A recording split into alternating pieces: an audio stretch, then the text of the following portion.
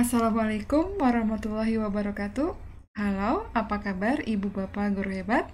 Ketemu lagi di sini di channel YouTube Citra Ditra Official. Oke, ini merupakan video kedua dalam proses pembuatan kelas virtual menggunakan Google Classroom. Baik, Ibu dan Bapak, setelah tadi kita membuat uh, kelas di Google Classroom, ya, kembali lagi kita akan membuat atau mengundang sejumlah siswa di kelas tersebut. Ya. Kita buka dulu ya Ibu Bapak. Nah, ini tadi yang kita buat ya. Kita klik. Oke. Ini kelasnya.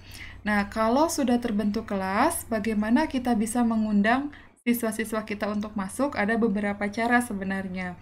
Yang paling mudah adalah dengan men-share kode kelas yang ada di sini. Nah, di sini ya. Jadi nanti Ibu dan Bapak kalau uh, sudah terkumpul kelas 7D, nah Ibu dan Bapak bisa share kode kelas ini kepada khusus untuk kelas 7D.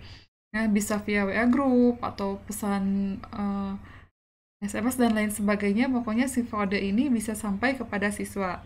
Nah, nanti si siswanya itu diminta untuk uh, mendownload uh, akun atau uh, aplikasi Google Classroom di Play Store-nya jika memang menggunakan uh, smartphone sebagai uh, bantuannya.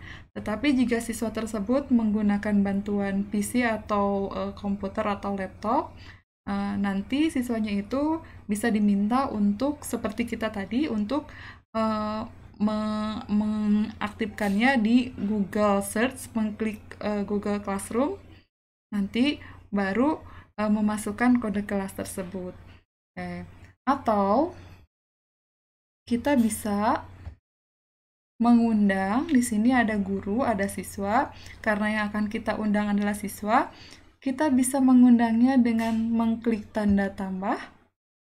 Kemudian kita ketikkan emailnya, misal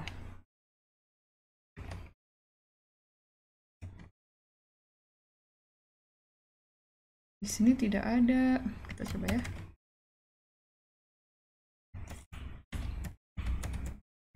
Kita ketikkan nama siswanya atau nama email siswanya. Kita klik tanda siswa, kemudian undang. Nah, di sini kita bisa lihat di bawah sudah ada satu siswa yang sudah kita undang. Untuk selanjutnya, lakukan hal yang sama sejumlah sesu, sejumlah siswa yang uh, ada di kelas tersebut ya Ibu Bapak.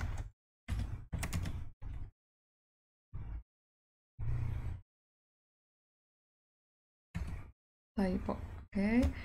Undang lagi. Ditunggu dua orang. Kita coba tiga saja ya, Bu. Pak.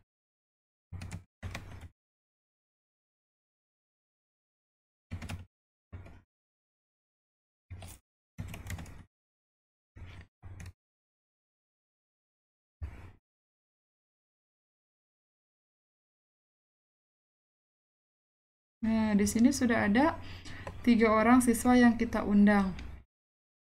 Jika siswanya 32, berarti harus ada 32 email yang kita add. Memang agak rumit untuk mengundang via uh, email ini.